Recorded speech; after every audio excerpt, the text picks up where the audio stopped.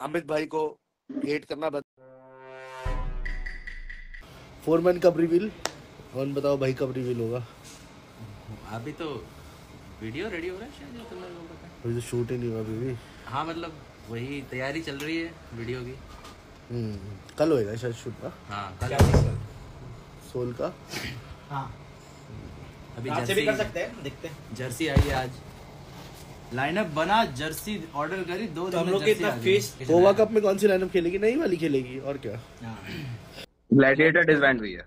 Release हुआ है। Lineup पॉटली तो है ना? हाँ तो वहाँ से निकल के वहाँ जाएगी और कुछ नहीं है। भाई मायावी भाई भी आए चैट में। कैसे है मायावी भाई। कैसे बड़ा दिनों भाई, बाद क्या आए। हाँ, सीन है आपका लाइनअप का? हाँ भाई भाई, आपकी लाइन कहाँ क्या सीन है? कहाँ जा रहे हो यार? बड़ा आपका वो एस पावर यार टेढ़ी मेढ़ी स्टोरी डाल रहे हैं यार।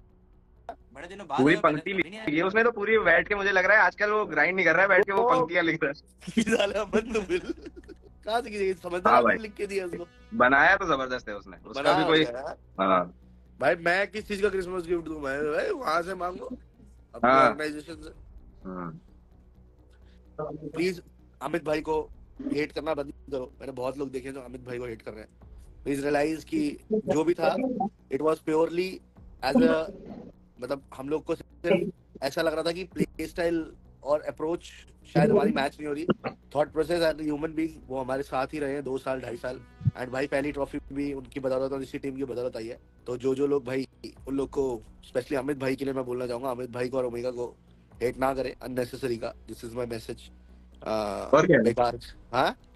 ऐसे ही होता है इविल जीनियसेस ने वैलोरेंट का चैंपियनशिप जीता अगले दिन वो रिलीज़ हो गए तो रिगार्डलेस ऐसा नहीं होता हाँ। मतलब यही इकोसिस्टम है स्पोर्ट्स का things work like this only ये जल्दी से हाँ, जल्दी समझना होगा। दिल से प्यार है इज़्ज़त है रिस्पेक्ट है और रहेगा वो हमेशा life long you never know आज हम लोग अलग है कल हम दोबारा साथ हो जाए किसको किसकी ज़रूरत पड़ जाए हमें उनकी पड़ जाए उन्हें हमें हमारी पड़ जाए। तो रास्ते एक दूसरे के खराब नहीं करते। कुछ कल मिसअंडरस्टैंडिंग्स थी जो लाइव में भी मेरे को आने से पहले क्लैरिफिकेशन नहीं था बट वो फिर सारी डिटेल्ड इन्फॉर्मेशन पता चली तो हमें भी रियलाइज़ हुआ कि ठीक है बट हमें जितना पता था हमने उतना बोला। बाकी आई थिंक मोर और less I think let the peace prevail they are ex soul always soul है ना?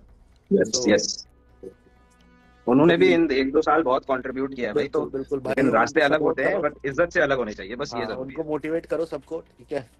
बाकी आपको नेक्स्ट टाइम जो भी क्लैरिफिकेशन कुछ भी चाहिए वो सब कुछ वो नहीं है। एक सिंपल सा कॉन्सेप्ट है। You go we go differences आए गेम स्टाइल और परफॉर्मेंस की वजह से आए। हम लोग स्प्लिट हुए थे। कल को क्या पता फिर फिर से एक हो जाए। हु नोज़ है ना?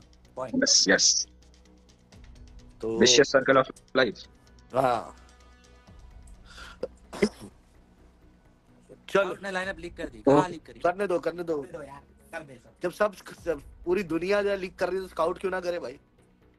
करने दो। ठीक है।